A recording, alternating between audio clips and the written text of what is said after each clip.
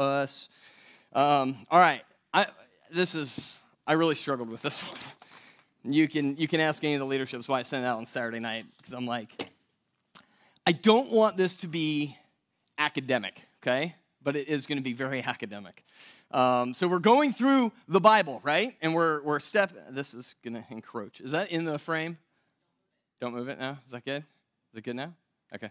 Um, I, am going to hit it. um, so we're going through the Bible, right? And we're, we're stepping through um, what we believe about the Bible, right? Things, words that maybe you've heard, um, but maybe you haven't really had a, a, good grasp as to why we say the things that we say about the Bible, right? And so we we saw last week. Last week was the first week, and we said that the Bible is the inspired word of God that and that that was based on who god is that he is a personal god that he wants us to know him and therefore we conclude that he wants to reveal himself to us. And he does that through general revelation through just the world and his creation but also through special revelation. And that's what the bible is. And so we read through and we're like yes it, it seems very clear that the bible declares that what it includes is the words of god right? So that's that was like the formation and the foundation of what we believe about the Bible and why we stand up here and talk about this every week and why you guys read it at home because we see this as God's word. This is his love letter to us, if you will, so that we understand who he is, his purpose and plan for us. This morning my my charge is to go through that this is authentic that this is actually what they wrote, right? Because the Bible could say that it's the Word of God, but that could mean what was written thousands of years ago. And how do we know that what we're actually reading, when we just went through First Corinthians, and we said, Paul said this, and, he, and we spent time on words in the letter of First Corinthians that had significant meaning. Well, how do we know that that is right? We're reading it in English, English didn't exist then, right? Um, well, whatever. Anyway, not, not where it was written, okay? Um, and so, and so we, we kind of start peeling this stuff back and we go, well, how do we know? And this is where we get into like academics, okay? And so this is where, you know, I, I want to make sure that, that what, that my goal today is that we would all have an increased faith in God's ability and desire to preserve his word.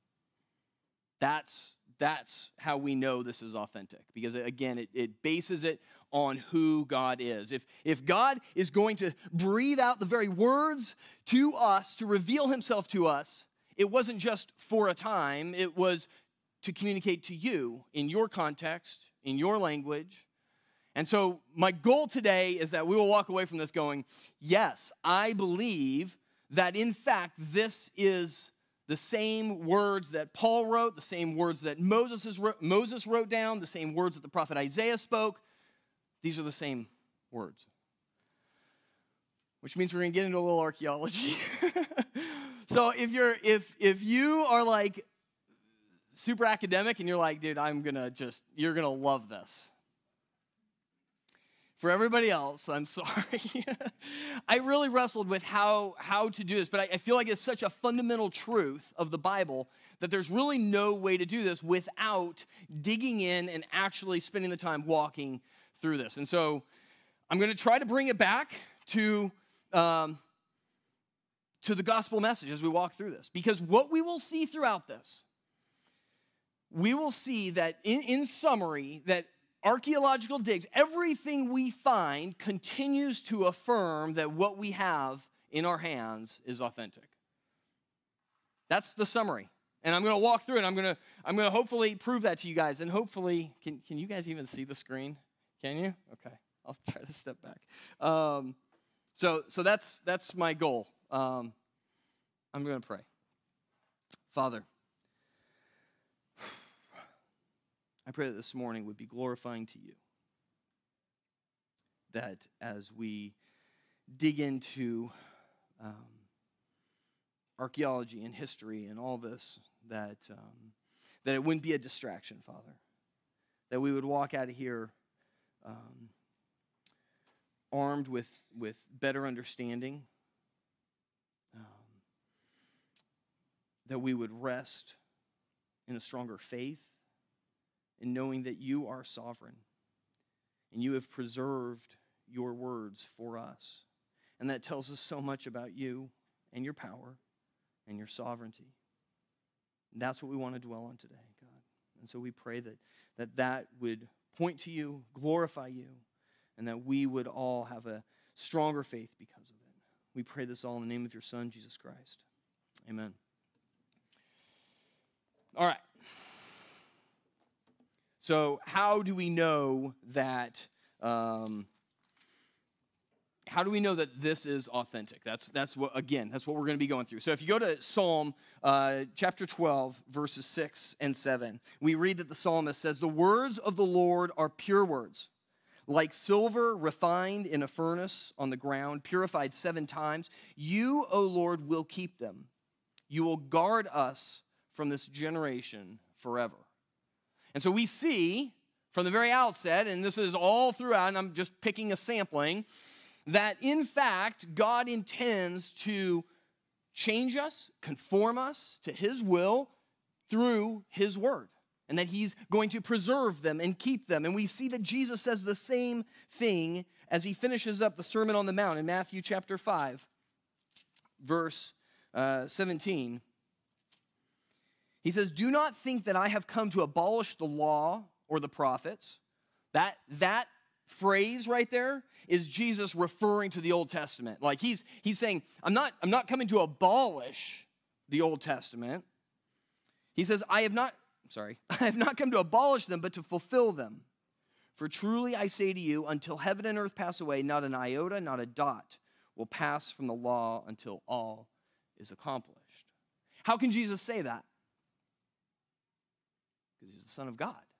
And he says, This is what my Father is going to do. We are going to preserve the law and the prophets. We're going to keep these things. And so when we go and we read the Old Testament, when we read the Torah, when we read what, what Moses wrote in the first five books, when we read the prophets, God says that He's going to keep that, that He's going to preserve them, that nothing's going to fade from it.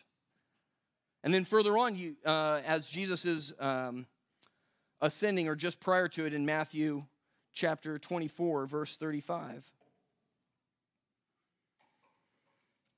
He says, Heaven and earth will pass away, but my words will not pass away. How can Jesus say that? How could Jesus know that his words weren't going to pass away? He was walking around for three years talking. Nobody was writing stuff down.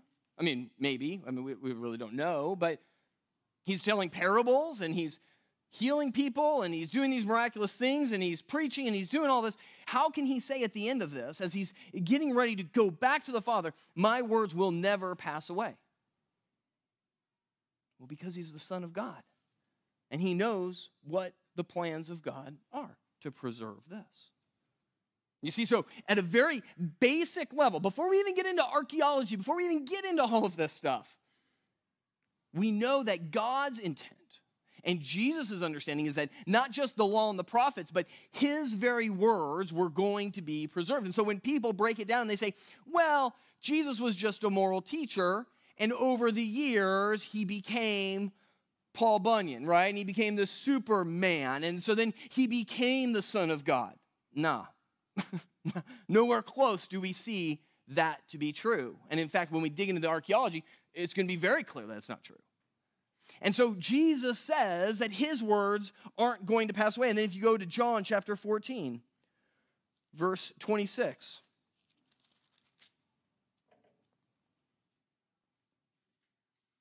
Listen to what he says about the Holy Spirit. But the Helper, the Holy Spirit, whom the Father will send in my name, he will teach you all things and bring to your remembrance all that I have said to you. All of it. So, how does God do this? Remember last week, we are like, how does God inspire the writers? And I said, don't know. It's miraculous. We don't know. It wasn't dictation. They weren't in some trance just writing down, right? Their personalities came through. How does God preserve his word? I don't know. But what he says is that the Holy Spirit that dwells inside of each of us is going to cause us to remember all things that Jesus said. Do you believe that? That's what he says. So the Father has said, hey, this my words are pure words and they're going to stay forever. The Son says, "Hey, my words are going to last forever." And then at the end Jesus says, "Hey, the Holy Spirit's going to make sure you remember all the words." It seems that God intends to preserve his inspired word. Would you agree? Okay. Now we're going to get into the academic to prove it, okay? So that's that's our faith. And so honestly, we could we could spend the whole time just establishing that, but honestly, it wouldn't it would be a pretty short sermon, which maybe wouldn't be bad, but that's not what we're going to do, okay? All right. So um so bear with me. This is the first time I've done this thing. So I'm going to try to try to walk through this. And my lovely bride is back there clicking slides while I'm clicking different slides. So we'll see how it works. Please, but honestly, like, um, I, I, really am concerned that I'm going to uh, talk too fast or skip over things or whatever. So um, I'm gonna I'm gonna try to do my best, and um, ultimately, I hope that this proves beneficial. All right. Here's what's cool. God did not decide to preserve his word by putting it behind a locked cabinet and having a, a, a, human or an institution or somebody hold it. He didn't do that. For whatever reason, he didn't do that. I, I think we'll see the good reasons why he didn't, right? Because all throughout history, we would go, Do I trust those humans? Do I trust those institutions? What did he do? He let it spread like wildfire. Like people took the Gospels, people took the words of God, copied it and shared it, copied it and shared it. They were excited about what God had communicated. And their excitement proved in what we see as this incredible dispersion of just copies and copies and copies and copies of the Bible. So this is a chart that nobody can read. I get it, but you can see the blue lines. Can you guys see it okay over there? All right. Um, this is the New Testament in Greek. The, the really tall line is the New Testament in all languages. And the rest of those are every other classic that we have in Greek. How many manuscripts we have of them. You can see it's not even close. And, and what does this communicate? This communicates excitement. Homer's Iliad was good people weren't excited about it, right? Why? Because, well, it didn't have eternal consequence. It makes sense that people would do this, right? Um, but it's it's incredible what we end up seeing is that it doesn't even it, nothing even compares to the amount. In fact, I'll just read it. It's like twenty three thousand nine hundred eighty six in all languages, five thousand eight hundred fifty six in Greek. It's insane the amount of manuscripts that we. These are just the ones we found. In fact, there's like sand and copies that are sitting in the bottom of museums that we just in buckets that we still haven't gone through. And it's it's just a matter of like diving through this stuff. And it turns out the sand in the Middle East is great for preserving papyrus. And so we pull this stuff out, and it's like, okay. And it takes them years to unroll these things, unfold them. And it's like, oh my gosh, this is incredible. So here's the other cool part God, in his sovereignty, didn't just allow it to, to be spread wildly, he did it at a time that was perfect. And, and we've talked about this before, but like the Romans built roads. Paul used those roads. Peter used those roads, right? Like if, if it had just been 300 years earlier when Jesus came, it would have been hard for it to spread the way that it did. I mean, think of it as basically the equivalent of, of pushing something out when the internet came out, right? Like you could, before the internet, you're like, man, this is going to go like wildfire, right? And we see this all the time, right? Uh, before the internet, it would it takes a lot longer for things to build momentum, and so the roads were significant. Not only that, but the language was significant. oh But the language was significant. This is Greek. Not only is it Greek, it's called Koine Greek. It's a common Greek. It's not like classical Greek, it's totally different. In fact, for centuries, scholars had no idea what these words were.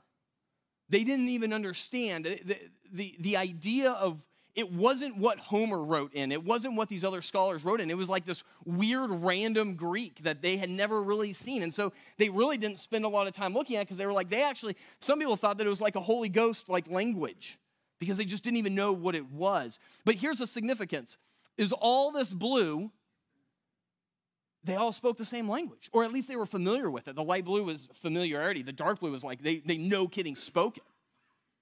And so, what did, what did the writers of the New Testament, as Paul's carrying this stuff around, he's carrying this around in Greek. He's speaking Greek. And so, he could go to Rome. He could go to North Africa. He could go to Alexandria. He could go to all these different places, and people understood what he was saying. That's huge. The timing couldn't have been any better. All right. Am I too academic so far?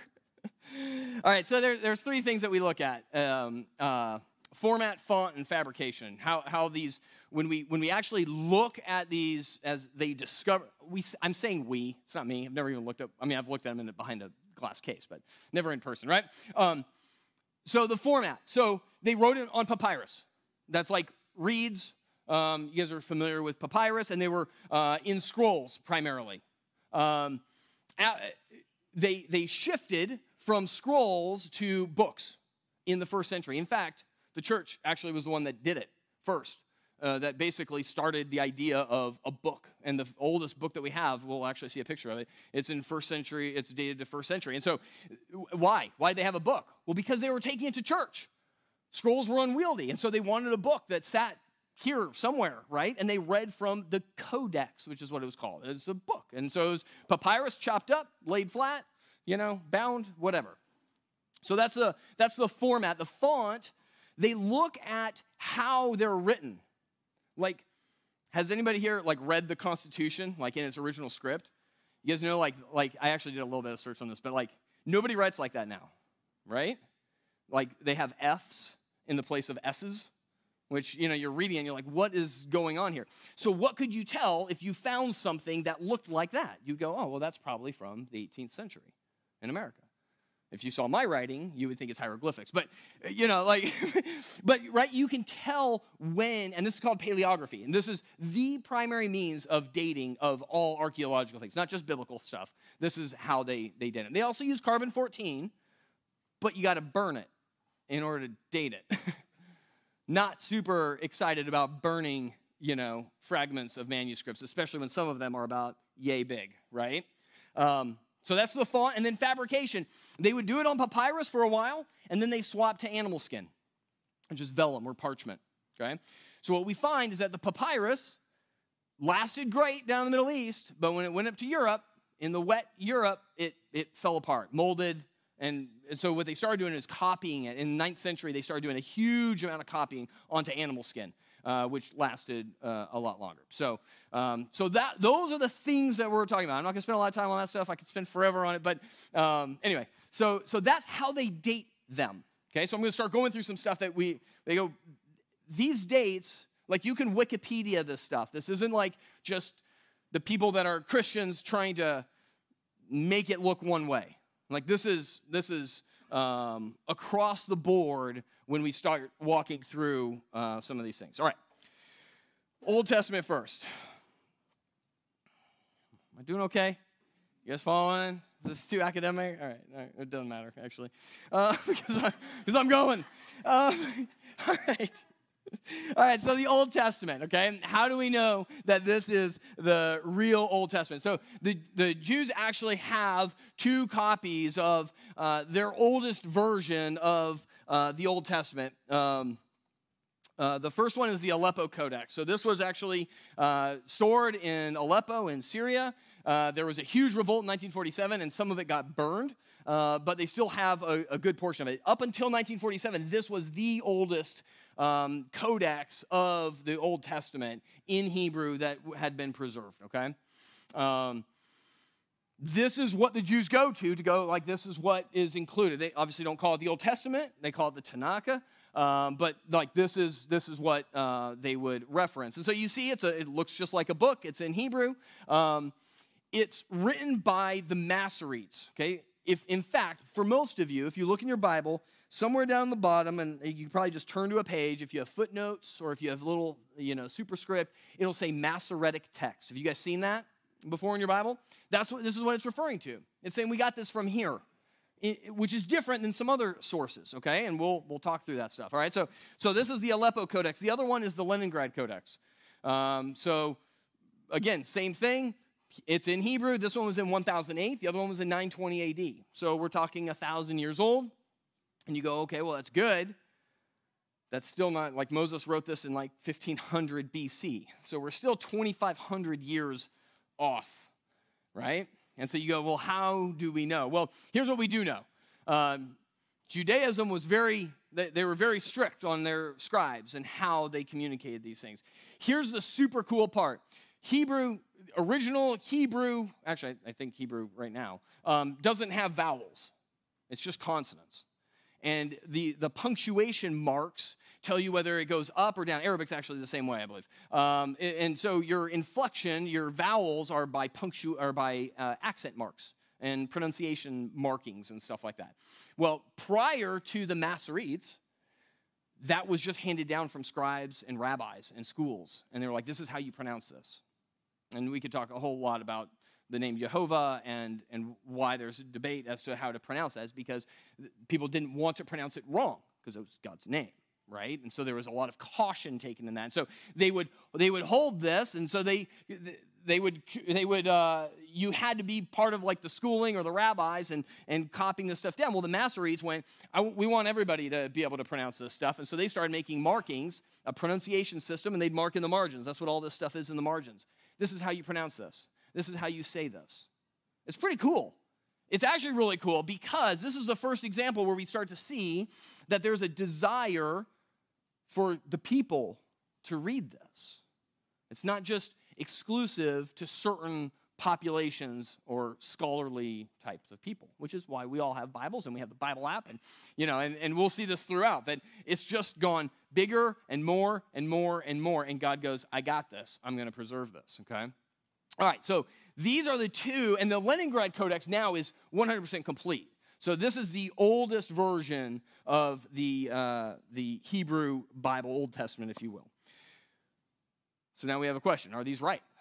How do, how do we know that the Hebrew written here, by the way, this is primarily where you have your Old Testament text from.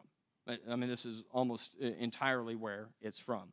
So, how do you know that that is correct?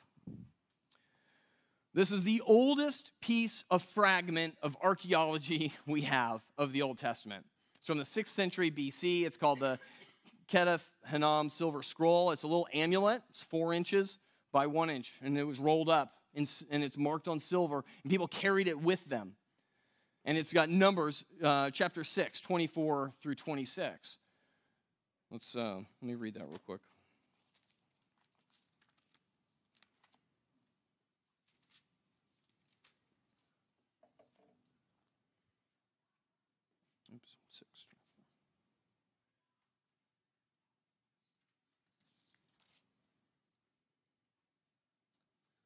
And if you look at this in your Bible, it probably has like a little indention. This was, this was a common expression. It says, The Lord bless you and keep you. The Lord make his face to shine upon you and be gracious to you. The Lord lift up his countenance upon you and give you peace. It's a blessing. And so people held this, who, who, whoever's this was, they held it close to their body, they carried it with them. It was like a little thing that they had to remember who God is. So this wasn't just scholarly, like, hey, these are just words, these were personal. There was, there was a spirituality to this, there was a faith applied to these verses. And so we see this very early. Like, and guess what this matches? The same thing that your Bible says, the same thing I just read, right? It's, it's, it's the same truth. Now, there's going to be words that are off, okay? So if any of you know a second language or have done Spanish or whatever, you know that there's synonyms, right? Like when you go from language to language, you could say different things in different ways. It doesn't make it wrong. Conceptually, you're still communicating the same truths, and so, and we'll spend more on that uh, in future uh, in a future sermon. All right, so that's that's the no kidding oldest one. So that's 600 BC. So timing of that, this was um, just prior uh, or during the Babylonian exile. Uh, so that happened in uh, 587 BC. So when we read of the Jews being carried off to Babylon, that's when this thing was. So it's actually the same time like Jeremiah's writing, like actually writing his. We have a piece of Numbers, which Moses wrote in 1500 BC. So now we're only 900 years from when Moses actually wrote this. There's also a Nash papyrus. So this is another one. This is about 100 BC. And this is, no kin, this is what it looks like. And they, and they read from it, and it's, it's the Ten Commandments from both Exodus and Deuteronomy. And it has the Shema, which is the Hear, O Israel, the Lord our God, the Lord is one, right? Like that, th- those, I mean, if there was something that you were going to carry with you, right, or make sure that you had, it would be that. And so this is, this is profound. And here's what's super cool about this. And this is where you start getting into some of the sovereignty of God what we have, I mean, this isn't a lot, right? This is this is a I don't have some of these have sizes on it, but this is about that big. It's not that big. It could have been I don't it could have been the not amazing stuff, right? Like I mean, obviously God's word is amazing through and through. But there's some stuff that you're like, "Ah, oh, okay. That's like the son of this, the son of this, the son of this, right? Like if that was our scrap, it'd be like, "Oh, okay, well it's good." But how cool is it that it's the Ten Commandments and the Shema from Deuteronomy 6 4? Like, this is where you start getting into that. And this is just people in buckets, in sand, digging stuff up and going, look at what we got. I see God's providence in this, and I hope you guys do too as we walk through this. So here's what's super cool. So, so there's that. And then in 1946, we found the Dead Sea Scrolls. You guys probably all heard of this, right? So the Dead Sea Scrolls, like, this is from like the third to the first century C, uh, uh, AD, right? No, sorry, 100, 100 BC. Um, these were found in the caves in Qumran. It's like just east of Jerusalem towards the Dead Sea, and like that's the cave, right? And so they stumble upon this stuff, and they find in these vessels like this was a community called the Essenes that had like left Jerusalem in the midst of when Roman persecution was pretty high, okay? Um, and so they left, and they were like this little monastic community and they lived there and they were, you know, like totally outside. They're in the middle of the desert and they just studied and like this is what they did. And they scrolls and scrolls and scrolls, 950 manuscripts. We have like the entire Old Testament except for Esther. And you can actually, I mean, like these things are on display, and you can see these massive scrolls of papyrus. And so we go, this is fantastic. Let's see if the Aleppo Codex and if the Leningrad Codex, let's see if they're accurate. Guess what?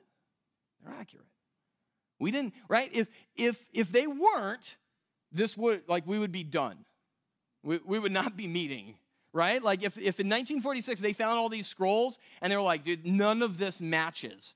And it's dated to 100 BC, and none of this matches the Masoretic text. The Jews would have had a huge problem on their hands, and we would have had a huge problem with our Old Testament on our hands. But instead, what we see is that it's the same. We're like, this is incredible. This is fantastic. And so, what did God do? Some random community out in the middle of nowhere that just kept their own stuff. They had no, no, nobody was keeping track of them. Nobody was making sure they were writing down the right things. Nobody was making sure that they had the proper stuff. I don't know why they didn't have Esther, uh, but, but they, they preserved it for us. All right. Where am I at? When the Jews came back from Babylon. It's like 450 BC. Ezra was, the, was one of the last ones to come back. And so we read in the book of Ezra um, in chapter 7, verse 10. Um, turn over to that, would you?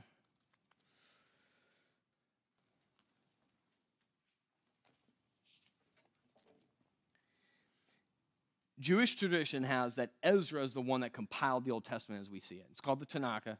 Um, and we can go through that later. But it says in verse 10 For Ezra had set his heart to study the law of the Lord and to do it and to teach his statutes and rules in Israel. And so as, as Ezra came back, He was like, let's collect all these things. Let's put these things together. Let's make sure we understand, right? They just got back from 100 plus years in Babylonian exile. Like, they wanted to make sure that they had everything. And so, uh, this is um, Zerubbabel was the priest, and then Nehemiah builds the walls, and, and Ezra comes back and starts instituting all these things, and they start reading from them. And this is it. This is 450 BC when they were doing all of this stuff, okay? Well, guess what? We have 100 years after that, they start translating it into Greek. Koine Greek, the same Greek I was talking about before. Why? Well, because now you're at 350 BC, and this is what everybody's starting to speak.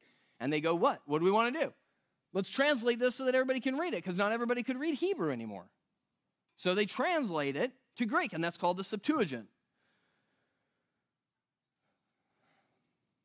It's the entire Old Testament written in Greek now. Now you've got a translation, okay? So you go from Hebrew to Greek. Well, that's certainly going to be unreliable. No, it's not unreliable. In fact, these are the fragments that we have. It's the Rylands 458 papyrus, okay? These are obviously just pieces. Here's the other cool part. Look at what they talk about in these pieces. Again, it could have been obscure kind of reference type stuff, but it's not.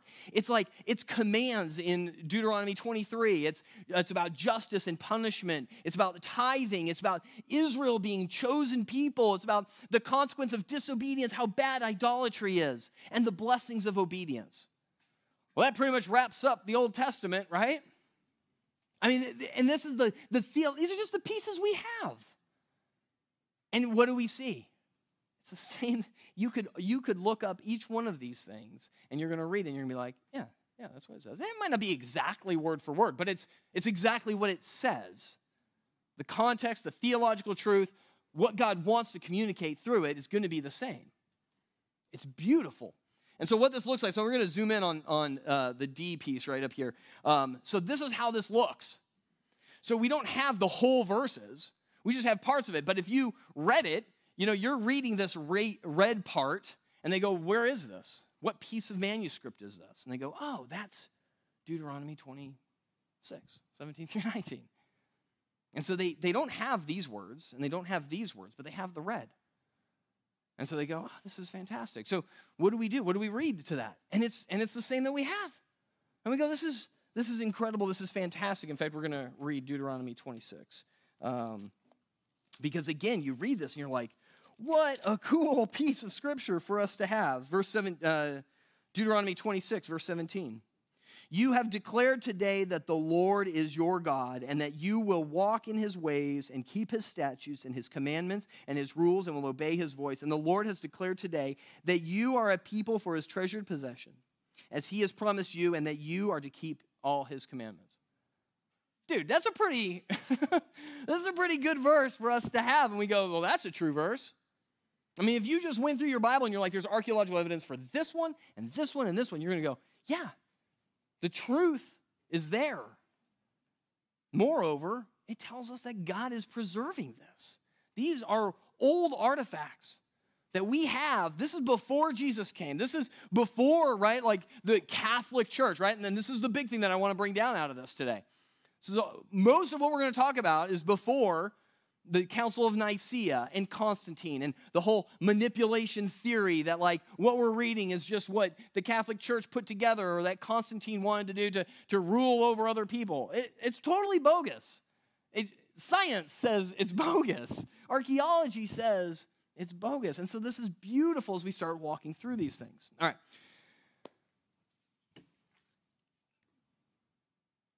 That's all I have for the Old Testament. All right. So this this gives us some good confidence that what we're reading in the Old Testament is legit. Okay, so now we go to the New Testament. Well, now we're sitting here in uh, you know these the authors of the New Testament are writing the gospel writers. I mean, 60 to about 110 AD is about when the, the time frame is. So we're, we're good. We're about 1,500 years newer than what Moses wrote.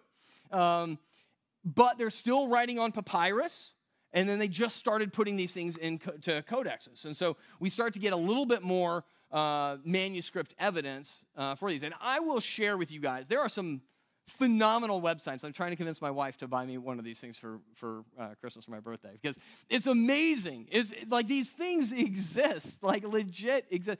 Not, she's not buying me that. Well, I don't know what she's gonna buy me, but uh, it's not the actual papyrus, obviously. It's like uh, uh, facsimiles of it and put into a book. And it's like, it's, anyway. All right. Um, all right, so here's what we have. Um, what you have here in the New Testament, um, I, I'm, I hope I'm going to teach this all right. Um, so you have the Latin Vulgate. You guys have probably heard of the Latin Vulgate, okay? Um, so this is Jerome. Jerome wrote this in the fifth century. We have an eighth century copy of this thing. It's a big book. Could you imagine having to haul that to church? Um, and he was commissioned by the Pope to write it. And so he wrote it, and it was, and it's in Latin, right? And so what does he take? He takes the, the Septuagint, and he takes the Greek text, and he translates it into Latin. Why? Latin was what everybody spoke. It was the common vernacular. So once again, we see this like this movement to like the common people's language. And so that's what they did. They translated because people are like, nobody knows Greek. We need to turn this into Latin. And so they do. And so this is what Jerome writes. And then uh, John Wycliffe, he translates it to English. He paid the price for that one. He got, right? Like, you could not translate this into English. Um, the church had kind of held the Latin Vulgate. And at this point in the 16th century, 16th, 15th century, in the 15th century, Latin had become the church's language. Okay, now we're starting to get into a little bit of this like an institution's protecting this thing. And John Wycliffe goes, No, let's put this into English. Um, he got excommunicated from the church and it was bad, bad, bad. But this was the foundation of the Protestant Reformation really when we start looking at that, that we can go back and start reading this stuff. And so, so he translates it into English, and that's about what it looked like. Then you have Erasmus, who's right after this. And Erasmus really did this foundational thing. He went, you know what, I'm not going to start with the Latin and translate it to English. He's like, I'm going to go, I'm going to go back to the Greek manuscripts. Because he started questioning whether the Catholic Church was, was really, the, the Latin Vulgate was, was right. And so he goes back and he goes, Let me go find Greek manuscripts. And he finds five Greek manuscripts.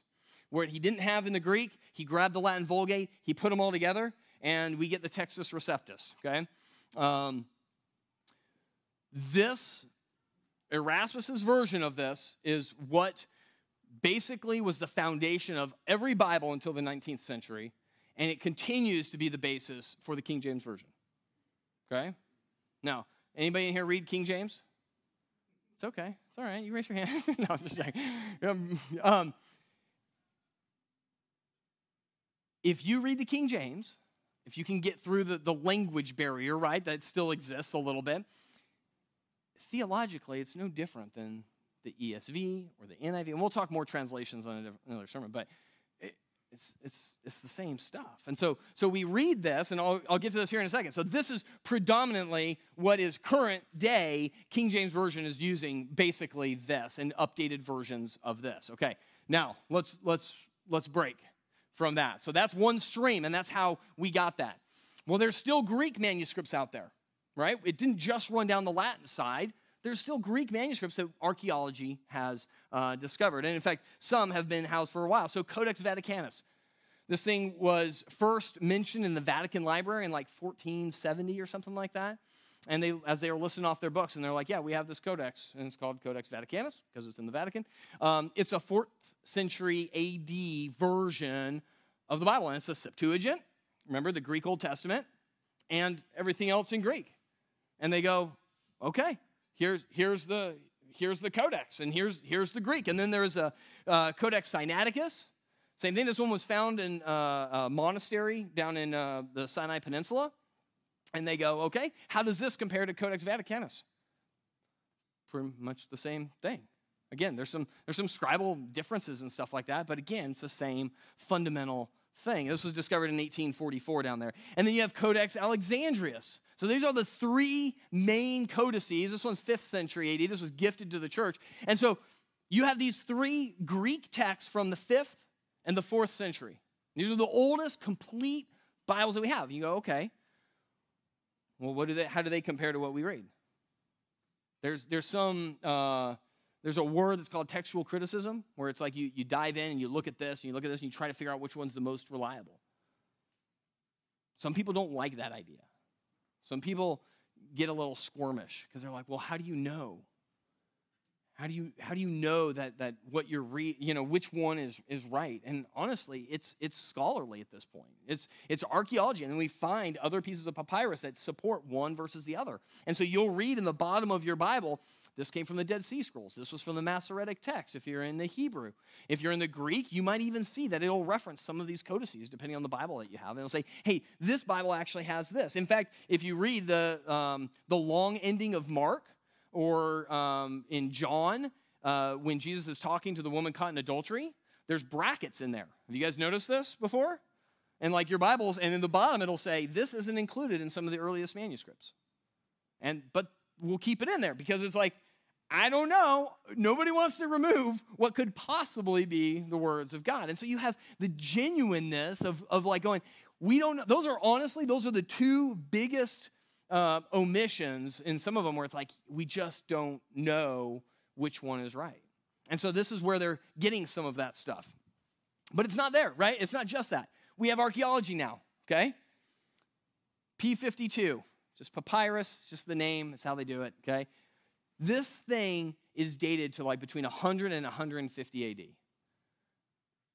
This is the, this is the Gospel of John. John wrote his gospel around 80 to 90. This is this is pretty legit. This is a good chunk of manuscript for us to have. And it's 1831 through 33. So we're going to read through this again to kind of go, man, if there's if there's a piece of scripture that we'd want, in fact, and then this is the back of it. So it's written on both uh, sides of this papyrus. So eight, uh, John 18, 31. Pilate said to them, Take him yourselves and judge him by your own law. The Jews said to him, It is not lawful for us to put anyone to death. This was to fulfill the word that Jesus had spoken to show by what kind of death he was going to die. So Pilate entered his headquarters again and called Jesus and said to him, Are you the king of the Jews? Jesus answered, Do you say this of your own accord, or did others say it to you about me? Pilate answered, Am I a Jew? Your own nation and the chief priests have delivered you over to me. What have you done? Jesus answered, My kingdom is not of this world. If my kingdom were of this world, my servants would have been fighting that I might not be delivered over to the Jews. But my kingdom is not from the world. Then Pilate said to him, So you are a king.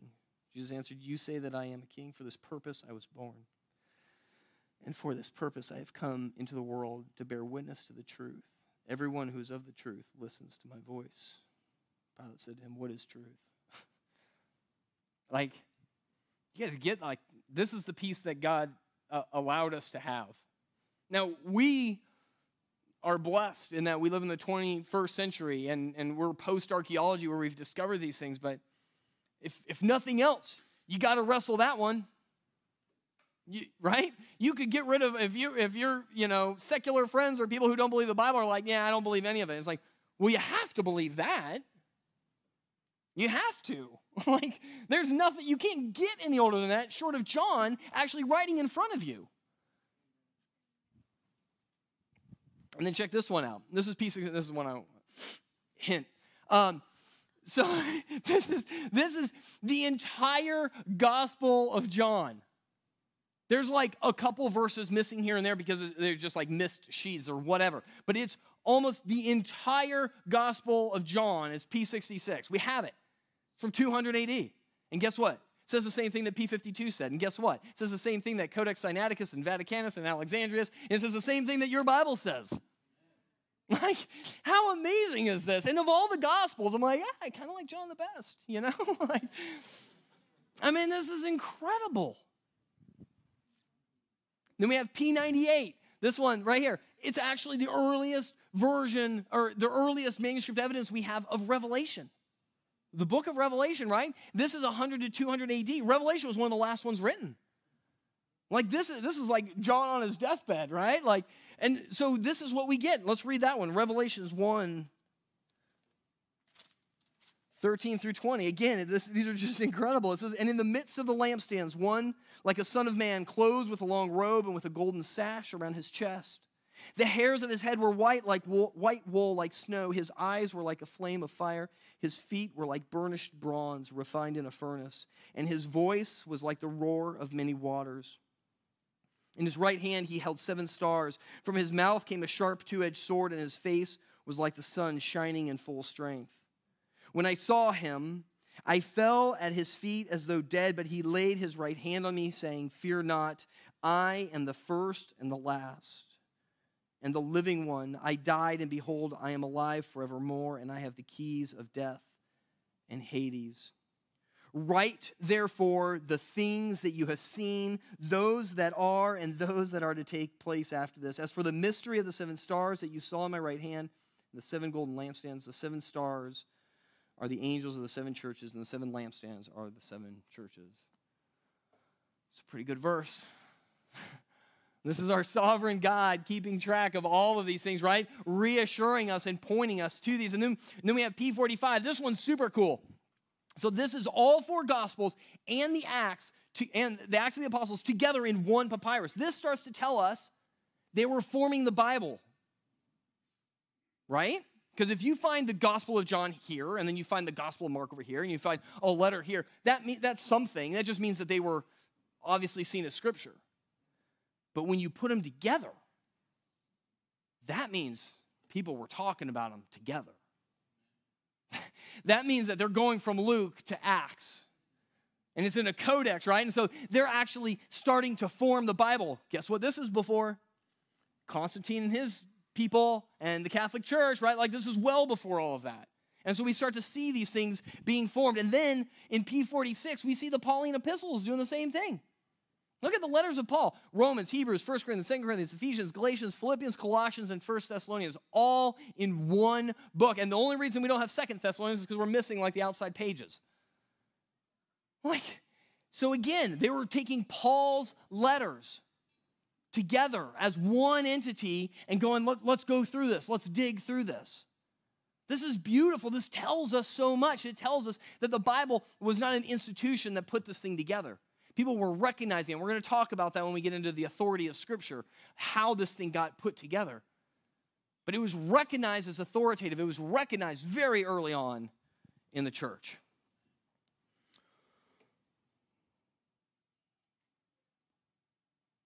All right. So, what do we conclude out of all this? We have 5,800 Greek, we have 10,000 Latin, like 9,300 manuscripts from other languages of the New Testament. Like, we, we don't find any conflicts. We don't. And, and I would encourage you, go. Go like, go Google. You have like the world at your feet. I will, I will share some websites that are just absolutely phenomenal. There's one that's, it's not very like uh, appealing to the eye, but it's just a chart of all of the uh, all of the papyrus that we have and what dates. And you can go and a lot of these museums have them online now, and you can click through them. You can even see translations of them, and it's like it's beautiful. If you if you're wrestling with a doubt of like, is this really the inspired word of God or was this manipulated? There is no doubt. Scientifically, there is no doubt. There's changes, there's modifications. In fact, I went to one website and it's like, this is ridiculous. There's 40,000 contradictions in the Bible. There's 40,000 variations between the different codices. And you read them and you're like, dude, like this doesn't mean anything. And I'll, I'll give you a little a bit of an example. And I, I, was watching a video that was talking about this. Like, if you were to read, um, so these scribes, some of these scribes were very learned, especially the Jewish ones. But as we started getting into uh, the newer dates, it was these people were just employed. They were actually not very well educated people, and so they would just sit there and they were just like legitimately. They didn't understand really what they were writing. They were just copying, and so they had rules, and the rules were the first word had to be the first word on the page, and the last word had to be the last word, and the middle word had to be the middle word.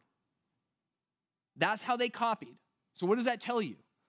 They aren't copying thought for thought and just making sure that they're, they're trying to create a picture, another picture of it, right? And so they'll say, they'll write, they'll just be writing letters and, and things trying to make sure it fit. And so like you could, you could correlate it to like, uh, in order to, po- uh, instead of like saying, uh, in order to form a more perfect union, it would say, in order to form a more perfect onion, right? Like, like if we all read that, we would go like, oh, well, okay. Like we know what they were trying to say. That's, that's honestly, that's a lot of them. And it's synonyms. It's like, oh, you could have picked that word or for this word. There's really nothing of theological significance. Don't take my word for it. Go look at it. Because as you watch this stuff and you read this stuff, it's absolutely incredible. And all it's going to do is affirm your faith. So you go and watch the uh, History Channel or the Discovery Channel, you're like, ah, that makes me nervous. And then go do your research. Don't, let, don't sit with that nervousness. Don't sit with that doubt because there is so much ample evidence sitting before us. And God used different regions. He used right? He used Alexandria and Egypt all the way, uh, all the way up into Rome and all around as you saw the Greek uh, speaking areas. He used all these different places and people. We didn't even talk about the stuff like that went to the Eastern Orthodox Church, the Peshitta and like the uh, Syriac language that honestly they've preserved theirs really well. Uh, and you can get a copy of that. I think the oldest copy we have of that is like in the fifth century. And, and it's like these things are all over the place. God allowed it to go like wildfire. Why? He's like, I got it. I'm sovereign. I'll make sure that they got it. I'll make sure that it's preserved. I'll make sure that it's authentic. Okay. I never thought this thought until this week. And I was reading something, and it was like, so a lot of times people think about like, it's manipulated. It's a translation of a translation. You can tell that it's definitely not a translation of a translation, right? Like when when I didn't really talk to this, I'm sorry, but you know when we were talking about the Latin version and how that got to us? Well, now what you're reading in the New Testament is going back to all of the original Greek uh. Like that's how you get the New Testament. It's going straight from the Greek uh, to us. So there's no like, it's not going through Latin anymore. We're not looking at Erasmus's 15th century thing. It's, it's going straight from the Greek text now. Um, Nestle Aland is the, are the, the people that, that put together the, the, the most modern Greek version of it. Um, but here's what's amazing you could not manipulate the text. You could not. It's not like, well, they're good Christians, and they probably didn't manipulate the text. You could not manipulate the text. These manuscripts, scholars believe that they lasted like 100 to 200 years. And so when we're finding these fragments in 150 and 200 and a codex, guess what was still around? The, the, the versions prior, right? It wasn't like you had one that was going and then this one got copied and that one got thrown in the trash. And then you ran with this one and that one got copied, that one got thrown in the trash. No, it, they, it just, it did this, right? It, like there's all these different versions of it. And so you could go back and look. In fact, uh, Tertullian was this Christian author and he writes this book uh, called Prescription Against Heresy uh, or Heretics. And he's like telling them why they're heretics. And look at what he says Come now, you who would indulge a better curiosity, if you would apply it to the business of your salvation, run over the apostolic churches in which the very thrones of the apostles are still preeminent in their places, in which their own authentic writings are read. And then he tells them, he's like, go to Corinth, go to Ephesus. Go, go to the churches that Paul wrote these letters and you can read them. He's writing, he died in 220 AD. So he's telling people, like, don't take my word for this. You, this isn't, you can't just go off of this. Go to the churches where they wrote the letters and you can read what they actually wrote. And so this is how we get the Bible, and this is how we can look at it and go, man, this is beautiful. This is absolutely beautiful. And it's founded on God's inspired word, God's character that He wants us to know Him and that He intends to preserve it. And so we can look at this and go, this is authentic. And we're gonna we're gonna spend some time in in, uh, in, the future looking through, like I said, the, the canon, how it got built, and the books that aren't in here and stuff like this. But but what you're gonna find is that all those things that aren't in here, these were all like 300, 400 AD, a lot later types of uh, versions. And and again, we'll we'll walk through it. But I hope. I, I know this was super academic. I hope this was beneficial. I, I hope that it at least teases your, your brain to go, man, actually, there's really good reason for my faith to be in the authenticity of the Bible. Let me pray.